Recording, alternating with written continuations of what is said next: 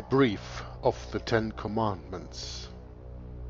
Have thou no other gods but me. Unto no image bow thy knee. Take not the name of God in vain, Nor Sabbath day do thou profane. Honor thy father and mother too, And see that thou no murder do. From whoredom keep thee pure and clean, And steal not though thy state be mean. See that thou no false witness bear, And covet not thy neighbor's gear. O Lord, our souls to thee convert, And write thy laws into our heart. Hello and welcome to a new video from Jörg, Joggler66, Hour of the Truth. Today on the 19th of November 2017 I've come to the table to read to you the next part which must, uh, if I counted correctly, be the 13th part of the book reading of Martin Luther against the Roman papacy, an institution of the devil. And um, I want to start with a little bit of an explanation of uh, a little bit more background on why am I reading this book. Uh, yesterday on the Sabbath I have had a Bible study with uh, Brett Norman and Tom Friess from Inquisition Update, as you probably know him. And we were speaking about this book because he and I, we are reading this book almost simultaneously. That's something that you do not probably know because when I upload these videos, his reading is probably more or less done a little bit because he does, of course, in First Amendment Radio a broadcast every day, and uh, about 50 minutes of his reading and discussion is published every day, and I do not publish every day a video of this reading because I also have other videos to upload on my channel, of course. But I want to make sure that everybody understands the right motivation, how it comes that Tom Friess from First Amendment Radio Inquisition Update on the one hand, and me from Joggler 66 Hour of the Truth, on the other hand, almost read these books simultaneously. Just that there is a good understanding of everybody who listens to this. I am not parroting what Tom says, and Tom is not parroting what I say, and we didn't even uh, make an appointment of reading this book uh, at the same time or what. It is just the way the Holy Spirit works.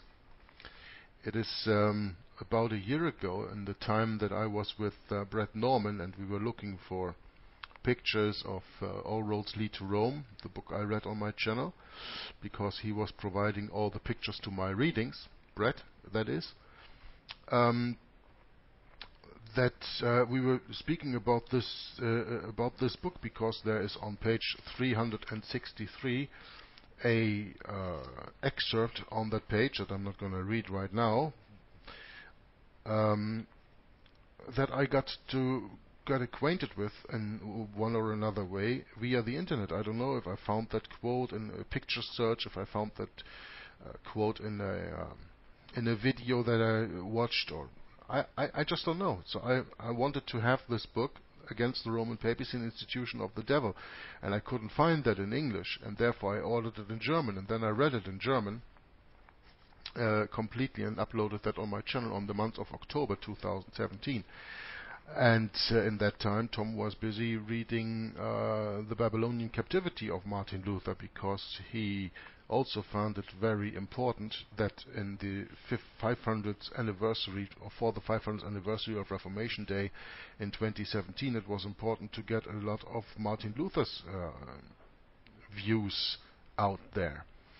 And he, of course, prepared also in this book. So uh, Brett Norman found this book, Luther's Works, volume 41, and uh, found in there this book against the Roman papacy, an institution of the devil, that Martin Luther wrote in 1545.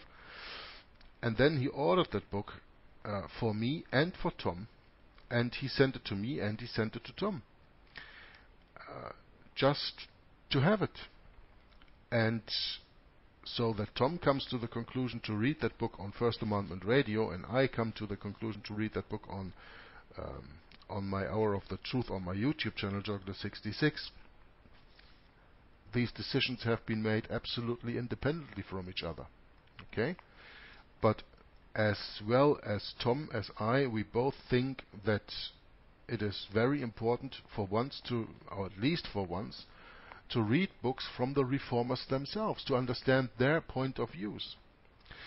And also, and that is something that comes clear to you when you watch uh, Tom Friess uh, analyzing the Babylonian captivity of the church from Martin Luther, which he wrote in 1520, and the playlist is included in the description box of this video, of course.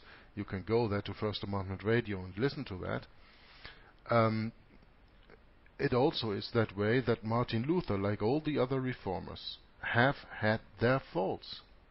Like we all have our faults. And like a lot of people who come out of the Roman Catholic Church today, or come out of any other deceived church anyway, they still wear a little of that leaven, you know, of that deception that was taught to them all their life in their teachings today. And the reformers were no different of that. And I, I think that is absolutely normal. And we should never judge people on things like uh, these mistakes because very often they do not do that intentionally.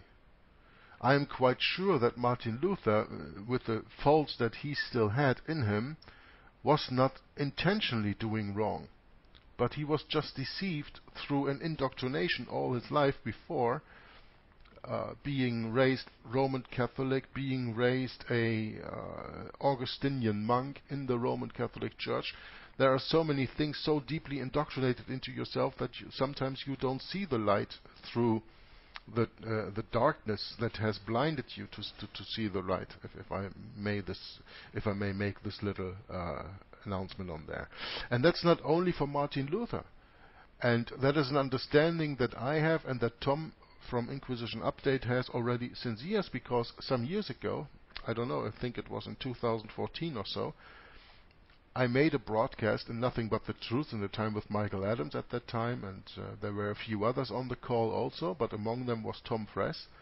And we did a three hour broadcast, and uh, we called that one uh, Why Didn't the Reformers Go All the Way? The Sabbath question. You know?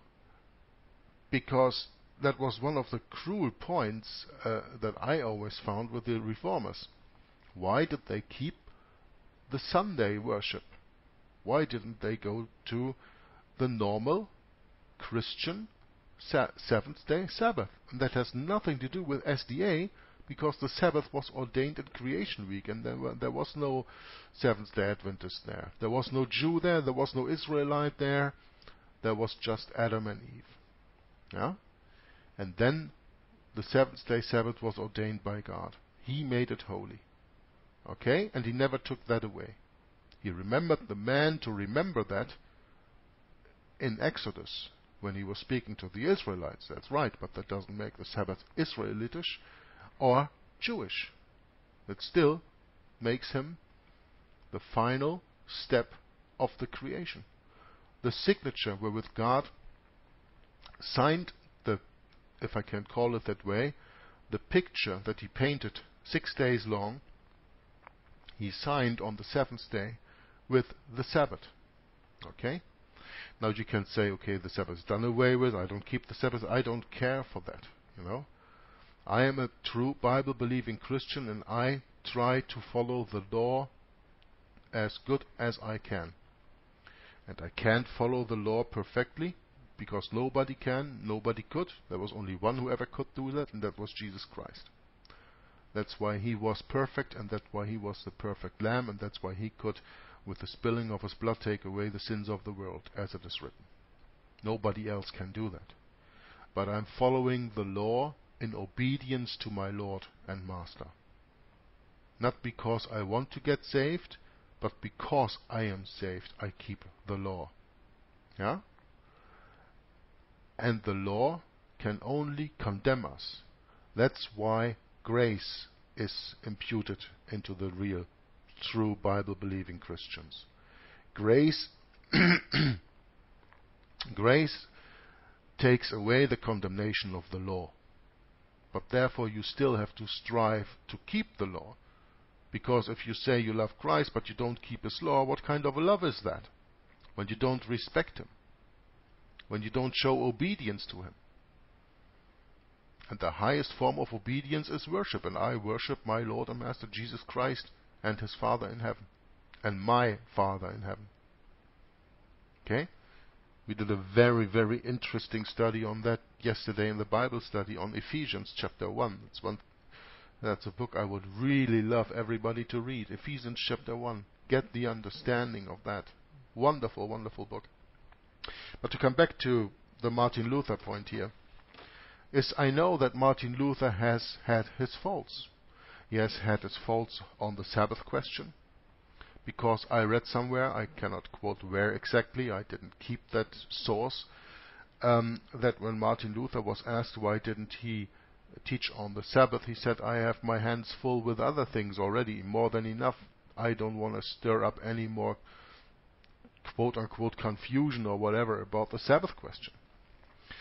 And uh, in the Council of Trent that followed the publication of this book, which started, as you know, on the same day that Martin Luther published this book on the 25th of March, 1545, in the 17th section, uh, the uh, Bishop of Reggio, or the Archbishop of Reggio, made a very profound statement, and that you can find in that video that I did in 2014, Nothing But the Truth, the Sabbath question, why didn't the reformers go all the way? Look that up in the archives of the playlist, Nothing But the Truth. You will find it, watch it, listen to it, and understand it. And this is just the Sabbath. Martin Luther also is still a quote unquote proponent of child baptism, which is absolutely unbiblical. And here and there he has his little faults, but I don't judge him on these faults because I understand that when you are indoctrinated a whole life with all the lies, it is very hard to come out of there. Tom confesses that every time when we have a Bible study, he says, I was raised 50 years in a futurist church and I still have a little futurist leaven in me, probably somewhere well, I cannot, uh, I cannot cur uh, that statement of Tom because I have never uh, seen any futurist leaven in him. But the point is that when he says that he thinks that is that way, who am I to argue? Huh? But uh, I don't think that there is a better teacher on futurism and historicism uh, in the place of futurism than Tom Friess. I have never met anyone who can more eloquently and surely convince you of the faults of futurism. Anyway, the point that I want to make is that even though Martin Luther has his, has his, has had his problems with some of the Roman Catholic doctrine probably still running through his veins even at the end of his life, he truly was a Bible believing Christian, but here and there he had a wrong understanding, and that happens to everybody of us. You know, if anybody comes to me and says, I understand the Bible completely, I think that he is a liar. I don't think that anybody, any man in this world, can understand the Bible completely to its fullness. I think, therefore, you have to be another being, but a fleshly sinner wicked as we are all altogether. We all are. So anyway, I just wanted to say this a little bit as an introduction to this uh, 13th reading of the uh, Against the Roman Papacy and Institution of the Devil, that you know a little bit the background, why Tom and I came to read this book, and how it is quote unquote coincidentally we do this at the same time. You know, once these videos are published, it doesn't matter anymore, and you have your choice to whether go to my readings and uh, watch them, or to go to Tom's readings and watch them, or even go to both and compare. And that's what I even want to ask of you. You know, I am not in competition with Tom Friess. I think that I have my ministry and I do it my way, and Tom has his ministry and he does it his way, and we both do it in the way that the Holy Spirit leads us. And the Holy Spirit does not lead two people, two ministries in the exact same way.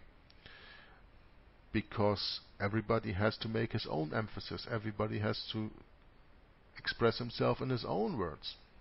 And I sometimes have problems expressing myself in my own words in the English language because that's not even my native language, but I do my very best to uh, make to you understand why I am making this 15 minutes of introduction into the video, which should actually just be another reading of the book of Martin Luther. And we're going to start with that in a second because we are coming today on page 335. I started. Uh, I, I, ended with the first paragraph and I have to start with the second paragraph on that page and I can tell you we are coming into a thing that I don't even think that I can uh, wrap up today. Let's have a look. It's going on for at least two pages, and this is one of the most wonderful things I have ever read in this book. When I read this in German, I just loved it. And I'm going to love it in English too. Um, it is a wonderful book, and uh, Martin Luther speaks the way that he speaks.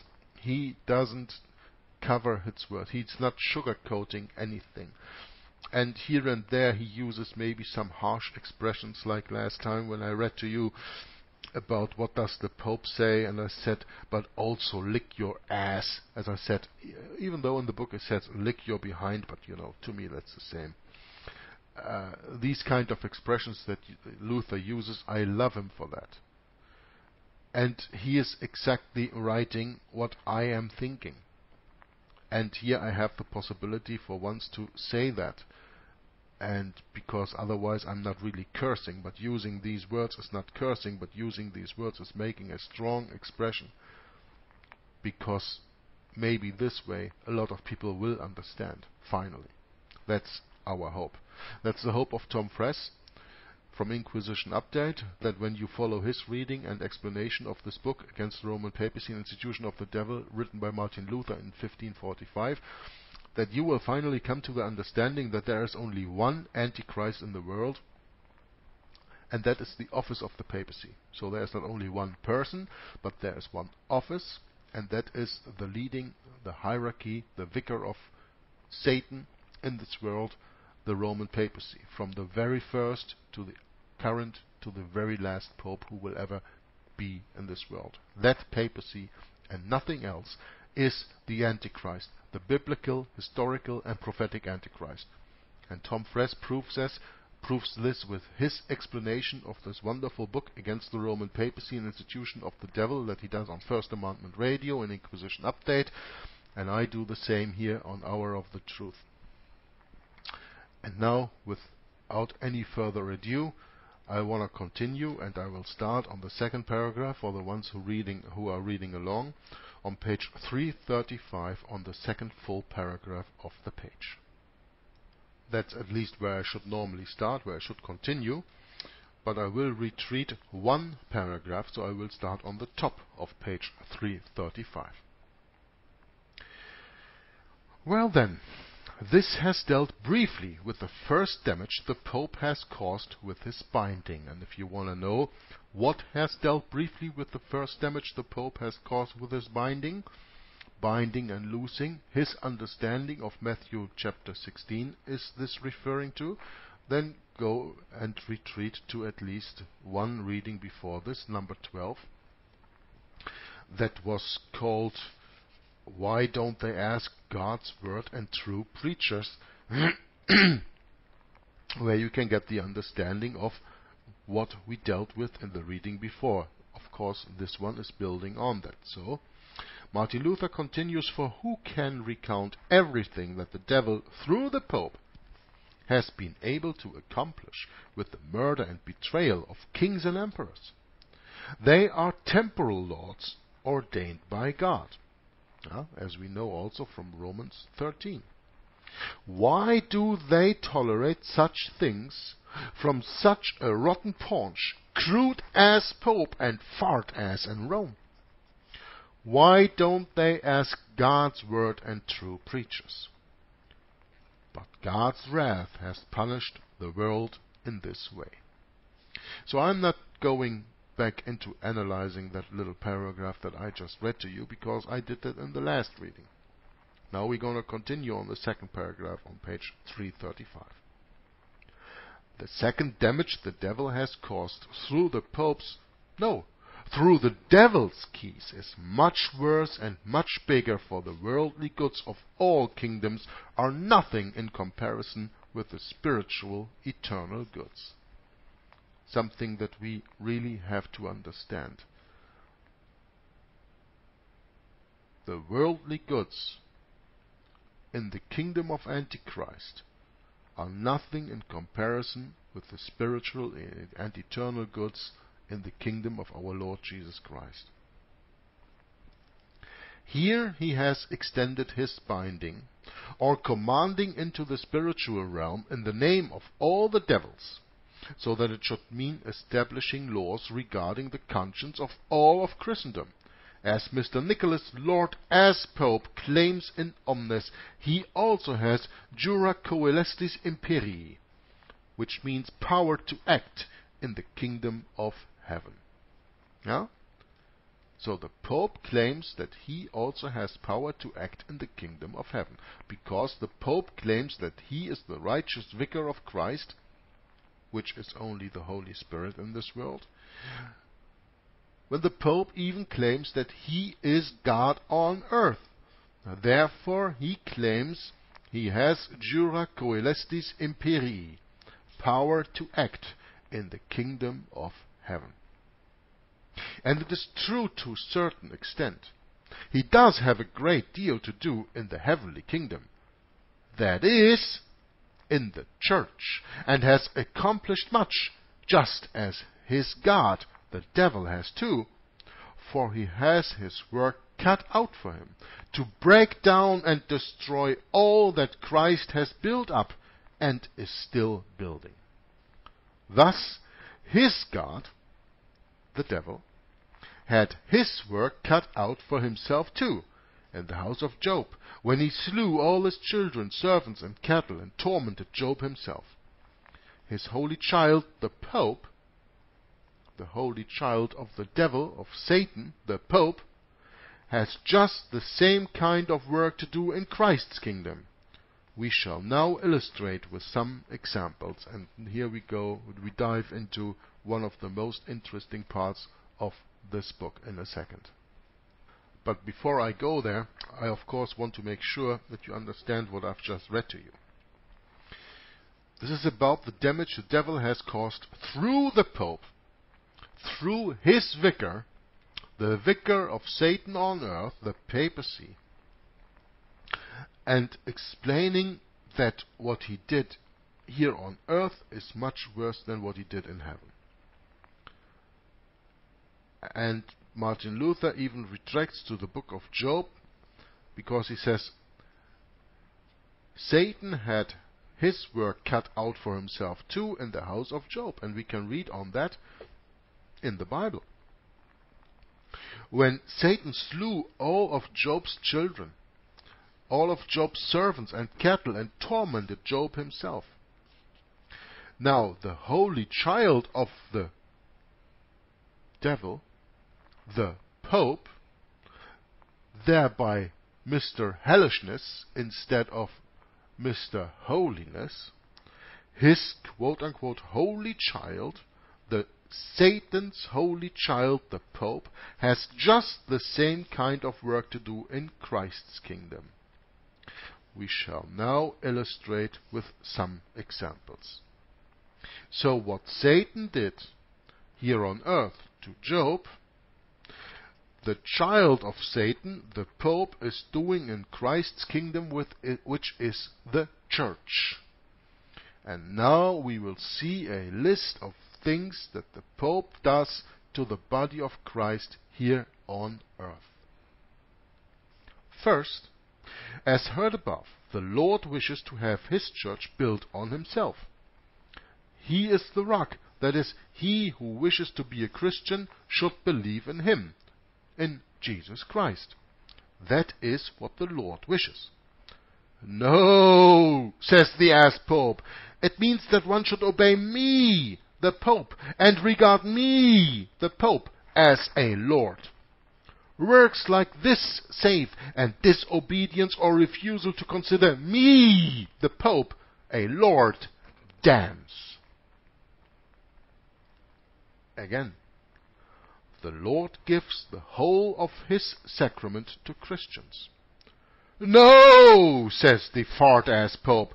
One element is enough for the layman. The whole belongs to the priest. Unquote. Now, there are a few things that I want to go and address for a moment. First of all, Martin Luther speaks here about um, the Lord gives the whole of His sacraments to His Christians. The Lord does not give any sacrament because sacrament is a Roman Catholic word. The Lord gives us the Lord's Supper, the Holy Communion. And that is an ordination, that is not a sacrament because we are not made holy by this. Sacrament comes from sacred, comes from holy, right? You don't become holy because you participate in the Lord's Supper, because you participate in the Holy Communion.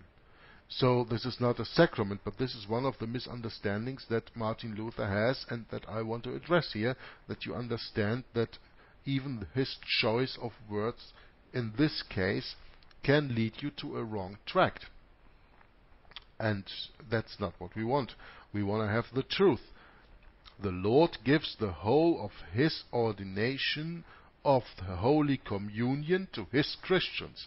This is the way the sentence should be read from a Bible standpoint. But, of course, then the Pope replies, No, says the fart ass Pope.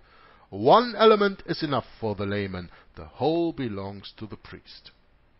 Well, in Bohemia at that time, uh, 100 years before, we had had John Huss, who was invited to the uh, Council of Constance, which is uh, in, in, southern Germany, Constance. And um, on that council, John Huss was, uh, or, or, Jan Hus, uh, Jan was invited to come there and he was promised a safe trip by the emperor. And then the emperor and the pope turned on him and they executed him. And Jan Hus came from the Bohemians, and the Bohemians were, in the eyes of the Roman Catholic Church, schismatics, because they ordained the Holy Communion in both parts to everyone meaning they break the bread and gave the bread in remembrance of Jesus Christ to the people who attended their services. And they gave also the cup with the wine to give to the people to share with the bread the body and with the wine the blood of Jesus Christ in remembrance of him as he said we should do in the Holy Bible when Jesus said, Here is this bread, take it and break it, this is my body. And here is the cup with the blood, and this is my blood shed for the new covenant. Take this bread, take this blood, and do this in remembrance of me. And do it with both. Do it with the bread, with the body, and do it with the wine, the blood. But the Roman Catholic Church withholds the Holy Full Communion on every layperson. The Roman Catholic Church only gives out the bread. The wine is reserved for the priest. Now, what are the consequences of this? Well, first and for all, the consequences of this are terrible in that point of view that of course you have to attend a Roman Catholic mass, mass which is a sacrifice in itself, and there you are wrong in the very first place, of course. And second of all, you only receive half of the communion. You only receive the bread, you do not receive the wine. Why don't you receive the wine which stands for the blood? Because the blood stands for life, and the life is only given to the priests not to the lay people in the Roman Catholic Church. That is something that we have to understand. And that is something the Roman Catholic Church does completely out of her own authority, because Jesus Christ ordained us to break the bread, that is his body, and do that in remembrance of him, and to take the cup and drink from the wine, that is the blood with which he seals the new covenant, and we have to do that in remembrance of him. And when you take both parts of the quote unquote sacrament of this ordination of the Holy Communion, and you say and you are convinced and you confess that you do this in remembrance of Jesus Christ as He ordained us to do, the Roman Catholic Church speaks out an anathema against you. You are anathematized. You are cursed when you take the complete communion, when you take when you participate in both parts. So let us repeat this very last part in the book another time now that we have, I hope, the full understanding. The Lord gives the whole of His ordination, so I'm changing what is written in the book a little bit to the biblical understanding. The Lord gives the whole of His ordination of the Holy Communion to His Christians. No, says the fart-ass Pope, one element is enough for the layman. The whole, both elements, belong to the priest only. Again, the Lord wants to have His sacrament given to strengthen for the poor, um, to strengthen the poor consciences through faith. No, says Pope Fartass, one should sacrifice it for the dead and the living. Sell it and make a profitable business and market out of it so that we can expand our belly with it and devour all of the world's goods. Unquote. This is what the fart ass Pope replies to this. So I'm not gonna go any time that Martin Luther writes in this book about the quote unquote sacrament, I'm not going every time into the explanation what I think about it. I did that already and I hope that you understand. And when I read this, you have to understand that with the understanding that I gave you before. There are no sacraments in the Bible. Those are ordinances the Lord gave us to keep, in this case, the Holy Communion. Okay? I'm not every time changing the words written in this book. You have to understand that from the explanation that I gave you beforehand. I hope that we can agree on that. So I'm going to read it again. The Lord wants to have His sacrament given to strengthen the poor consciences through faith. No, says Pope Fartass, one should sacrifice it for the dead and the living sell it and make a profitable business and market out of it so that we can expand our belly with it and devour all of the world's goods. So, the Pope says one should sacrifice it for the dead and the living.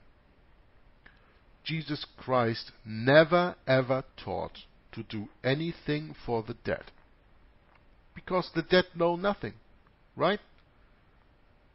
When one of his disciples wanted to bury his father first before he followed Jesus Christ, what did Jesus reply? Let the dead bury the dead.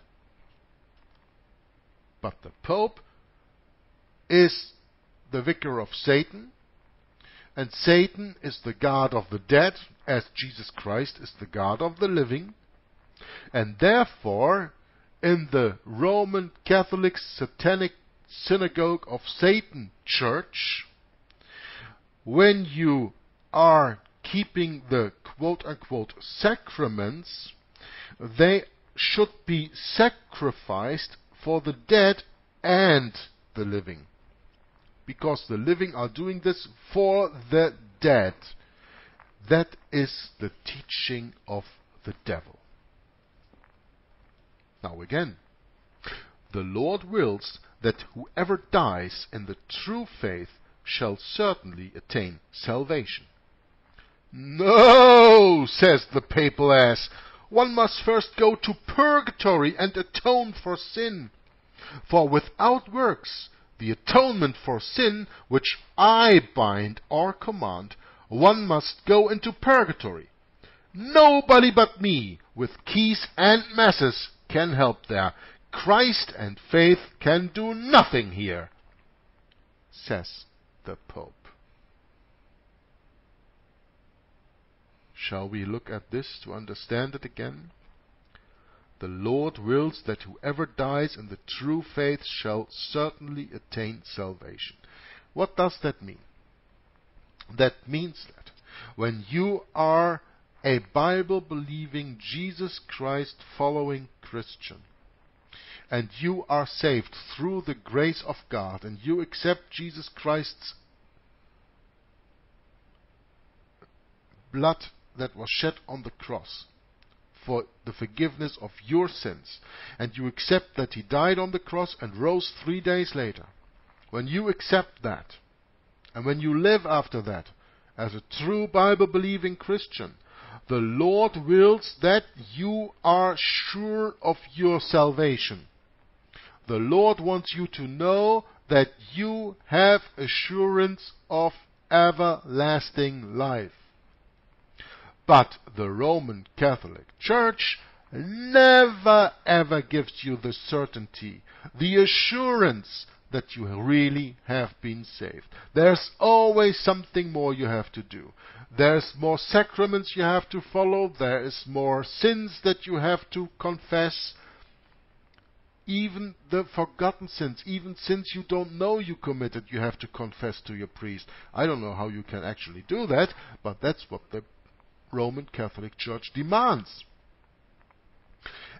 And even if you do all these things, you cannot be sure of everlasting life with the Lord in heaven because you still have to go into quote unquote purgatory, an invention of the Roman Catholic Church that has its roots in Babylon, in heathenism, in paganism. There you can never be sure of your salvation. That's the point. Trust in Jesus Christ and you can be sure of your salvation. Trust in the Pope and you can never be sure of your salvation. This is what this comes down to. Very, very important point to make that the Lord wills that whoever dies in the true faith shall certainly attain salvation. And the Pope says, no, one must first go to purgatory and atone for sin. And even when you go to purgatory, you cannot get yourself out of there. But the people who live and love you can pay money to the Roman Catholic Church, indulgences to get you out of purgatory. When you are watching this movie of Martin Luther, on which I put the picture in, the beginning of this video, when Martin Luther went to Rome, I think it was in 1510, 1513, somewhere in that in that time when he went to Rome, he bought an indulgence for a deceased um, uh, for a deceased family member. I don't remember which one anymore. No, it's not important. And therefore, he was made, or he was given, quote unquote, the assurance that with his indulgence, the time in purgatory of that deceased family member will be shortened. Not that he is getting out of it, but that the time will be shortened. That's what the Roman Catholic Church sold all through the Middle Ages with their indulgences. Not only the forgiveness of the sins that you commit and committed, and will commit in the future because you can buy an indulgence for every sin, past committed, now committed, or even planned in the future, depends on the amount of money that you are willing to pay to the Roman Catholic Church. So the point is that through the selling of indulgences, you could also free relatives, friends, whatever, whoever, from purgatory, or at least shorten their time in purgatory. Tetzel, when he, when he went through Germany with selling his indulgences in the beginning of the 16th century, which actually set Martin Luther up to uh, publish his 95 Theses in 1517, which we know, when Tetzel came there, there was the saying, sobald die Münze im Kasten klingt, die Seele in den Himmel springt which means in English, as soon as the coin hits the casket, the soul out of purgatory jumps. I don't have the the, the, the, the, right meaning, uh, the right translation now, but that's what it comes down to. As soon as the coin hits the ground in the in the box in the collection box of the purgatory money, as soon as the coin hits the bottom, the soul of the one you want to free from purgatory jumps out of purgatory. That's the teaching of Tetzel in that time. That's the teaching of the Roman Catholic Church concerning indulgences even until today. Because the Roman Catholic Church never changes. So when the Lord says that whoever dies in the true faith, when you have confessed Jesus Christ died for you on the cross, shed his blood for your sins, died and rose up three days later and sits now on the right hand of God, of his Father in heaven. When you die in, the, in this true faith, you shall certainly attain salvation. And the Pope says, no, one must first go to purgatory and atone for sin. For without works, what does the Bible say about works? The Bible says, through grace you are saved through faith and grace, and that's not of your own, not, uh, not of your works, lest that any man should boast.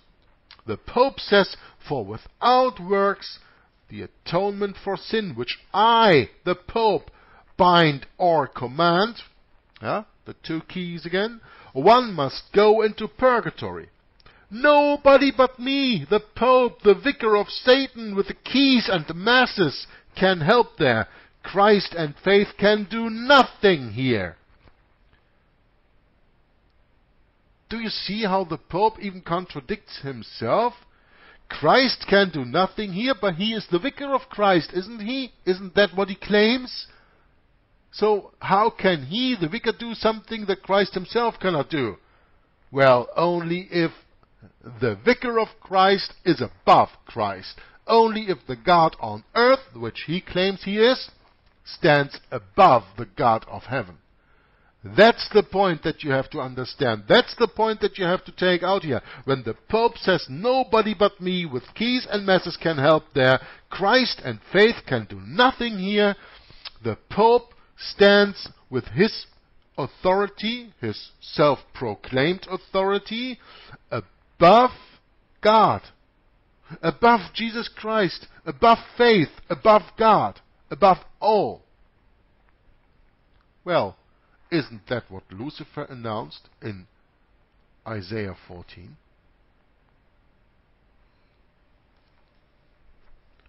Again, the Lord wills that the efficacy of His baptism shall remain as often as we repent, as long as we live here.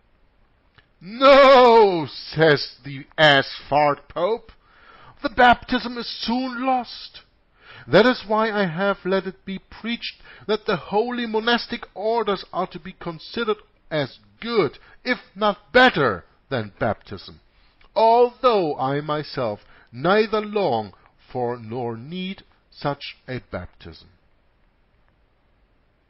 Yeah? So the baptism is only temporal, temporarily, for a short a certain specific period of time. That is what the Pope claims, whereas the Lord says that the efficacy of His baptism shall remain as often as we repent, as long as we live here. No, says the ass-fart Pope, the baptism is soon lost. That is why I, the Pope, have let it be preached that the holy monastic orders are to be considered as good if not better than baptism. So that means that if you want to be even better than baptism, if you want to be more assured of your salvation, in the Roman Catholic Church, of course, you have to enter a holy, quote unquote, holy monastic order.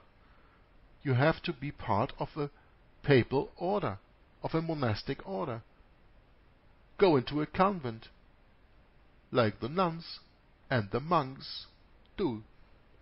That's what the Pope says. When there, in the seclusion, which is never biblical, you can attain through that salvation. Although the Pope says, I myself neither long for nor need such a baptism. Because the Pope is quote unquote holy in itself, right? He doesn't need baptism. He doesn't need the quote unquote holy monastic orders, no, because he ordained all that stuff.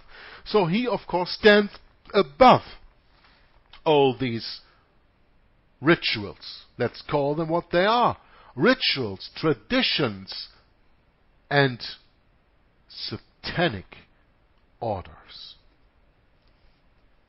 Again, the Lord wills that whoever confesses his sins and believes the absolution should be forgiven. No, says as Pope Fart, faith does nothing. But your own repentance and atonement do, as well as the recounting of all your secrets, forgotten and unrecognized sins. Unquote. Listen to that again. Faith does nothing, says the Pope, says the biblical, historical, and prophetic Antichrist. Faith does nothing, but your own repentance and atonement do. So that's works. I have part in my salvation according to the Antichrist. And Christ says that your salvation is by grace and that's a gift and not of your works. But your own repentance and atonement do, as well as the recounting of all your secret, forgotten, and unrecognized sins. How can I recount my secret, my forgotten, and unrecognized sins? How can I recount unrecognized sins? If I don't know that I've sinned, how can I recount for that?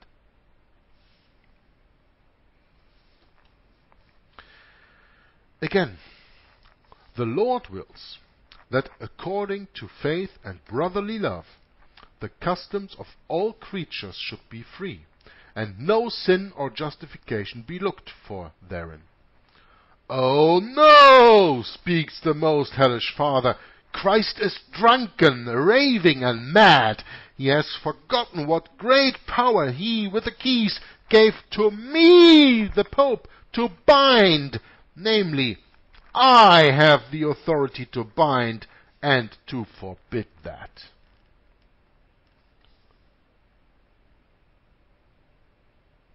Christ is drunken, raving, and mad.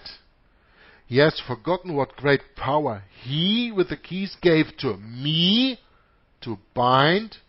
Namely, I have the authority to bind and to forbid that. Whoever drinks milk on Friday, Saturday, on the eve of Apostles' Day, or of my Saints' Day, which I have made, is guilty of a deadly sin and eternal damnation, except that I am not bound to observe this. The Pope continues. Whoever drinks milk on Friday, Saturday on the eve of Apostles' Day or of my Saints' Day, Sunday, which I, the Pope, have made, is guilty of a deadly sin and eternal damnation, except that I am not bound to observe this. No, because the rules the Pope makes are not binding him the one who has the keys to bind is not bound by the keys himself. That's what the Pope teaches. In other words, do as I say, don't do as I do. I make laws that you have to adhere to, but I do not adhere to these laws. I am standing above the law. That is the teaching of the Pope. And the teaching of the complete Roman Catholic hierarchy of the cardinals, of the bishops, of the archbishops, of every deacon, of every priest in every parish. That's what they say. They are above the law. They are outside of the law. We make the law, and everybody who does not adhere to this is guilty of deadly sin and eternal damnation, eternal purg- purgatory, except that I, says the Pope, or the cardinal, or the bishop, or the deacon, or the priest, am not bound to observe this. I am accepted from the law. I make the law for others. I am not bound by the law. Whoever eats butter, cheese, or eggs on those same days is guilty of a deadly sin and hell. This is why in the 16th and 15th century you could buy the so-called Butterbriefe, butter letters. You could buy an indulgence that set you free from this quote unquote deadly sin and hell, and you could eat butter, cheese, or eggs on every day of the week because you paid an indulgence for that. You bought yourself out of hell. That's satanic Roman Catholic teaching. Whoever eats butter, cheese, or eggs on those same days is guilty of a deadly sin and hell. Another point, but I don't want to go too far into that, is why are we speaking about deadly sins? Every sin is deadly. Because sin is the transgression of the law, and the how does it say that in the Bible? The penalty for sin is death. Right? So that's every sin. Right? The Roman Catholic Church, of course, has a distinction between venial sins and deadly sins, sins and other sins. A distinction the Lord does not make. The Lord says clearly, here's the law. When you adhere to the law, everything is fine. When you don't adhere to the law, you are breaking the law, you are transgressing the law. And when you transgress the law, you are sinning, and the wages of sin is death. That's what the Bible teaches. But the Roman Catholic Church, of course, makes a distinction between different kinds of sins. Whoever eats meat on these days, however, is damned far more deeply than hell. Except me, the Pope, and my cardinals, who are not subject to such binding, because he who has the authority to bind will undoubtedly not bind himself, but others. Bravo! Exactly what I said a few moments ago is now confirmed by the writing of Martin Luther in this book himself. I'm going to repeat this. Whoever eats meat on these days, this is of course something the Pope says, okay? Whoever eats meat on these days, Friday, Saturday, the Apostles' Day, or my Saints' Day, the Saints' Day of the Pope, whoever eats meat on these days, however, is damned far more deeply than hell except me and my cardinals, me and the hierarchy or the magisterium, the magi of the Roman Catholic Church, who are not subject to such binding, because he who has the authority to bind will undoubtedly not bind himself, but others. Exactly what I said before the people who make the law are not under the law, but they make the law for others. And it's the same in the temporal world. Didn't you ever ask yourself why is your congressman blessed?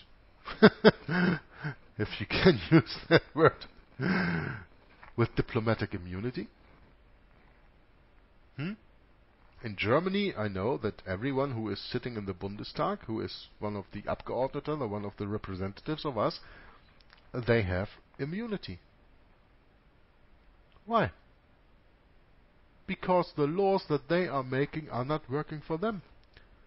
He who binds will undoubtedly not bind himself. Of course not. But he will bind others.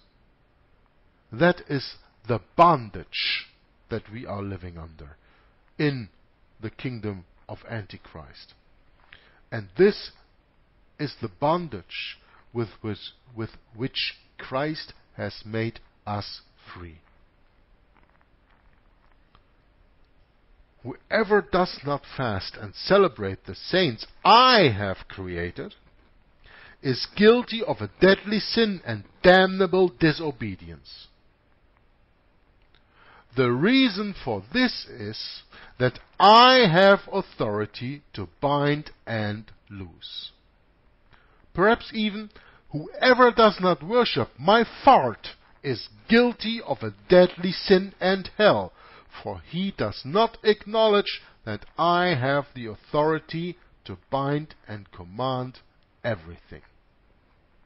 Whoever does not kiss my feet, and if I were to bind it so, lick my behind, is guilty of a deadly sin and deep hell, for Christ has given me the keys and authority to bind all and everything. Whatever king, emperor, or prince does not hand over to me his kingdom and authority is guilty of a deadly sin and eternal damnation, for I have the authority to bind and command such things. Whatever bishop does not buy the pallium from me commits a deadly sin and is damned. The reason? I have the power to bind and to command such things.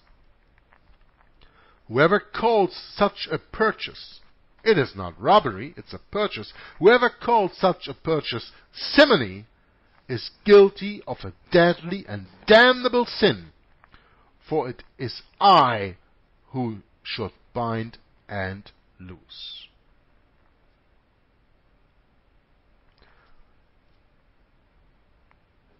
I think I should maybe go into a little bit of explanation of everything that I read here but I hope that when you listen closely you will understand this very well.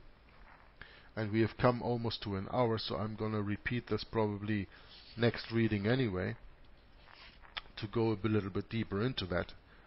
But we have to understand what the Pope farts here, as Martin Luther said. What the Pope says here says, Who so whoever does not fast and celebrate the saints I have created, are we to celebrate the saints biblically?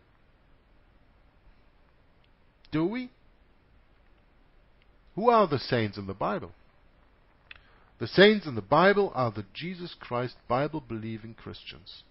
Holy people who adhere to the law of the Lord Jesus Christ, who accept the Lord Jesus Christ being crucified for us, being risen and being the first fruits of the resurrection and sitting at the right hand of God. Those are the saints. The born again, Jesus Christ's commands following people. Those are the saints of the Bible.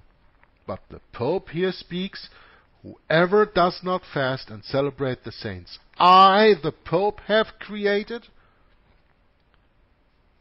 So the Bible says you are a saint when you adhere to the law of God, and the Pope says you are a saint when I created you as a saint, when I had made you holy, when I beatified you.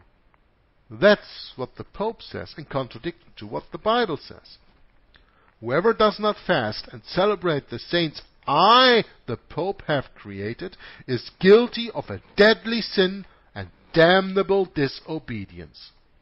The reason for this is that I, the Pope, have authority to bind and loose. Perhaps even whoever does not worship my fart is guilty of a deadly sin and hell, for he does not acknowledge that I have the authority to bind and command everything. This is where we are ending today. The Pope stands on the standpoint that he is the one who has authority to bind and loose, as Jesus Christ said to the disciples, to the apostles, disciples at that time, whatever you bind in uh, in earth shall be bound in heaven, and whatever you loose on earth shall be loosed in heaven. The Pope says that he has the authority to bind and loose because he is the quote unquote successor of Peter. He has been given the keys, he has been given the authority. Whoever does not worship my fart is guilty of a deadly sin and hell, for he does not acknowledge that I have the authority to bind and command everything. And if you do not acknowledge the authority of the Pope, you are cursed. You are damned. You are sent to purgatory and, of course, hell. And with analyzing the last few sentences that I've just read here, we will probably continue in the 14th reading, the next upcoming one, of this wonderful book Martin Luther wrote and published in 1545 against the Roman papacy, an institution of the devil. I thank you for watching and listening and commenting, and until next time, Joggler66 from Hour of the Truth signing off says God bless you and bye bye.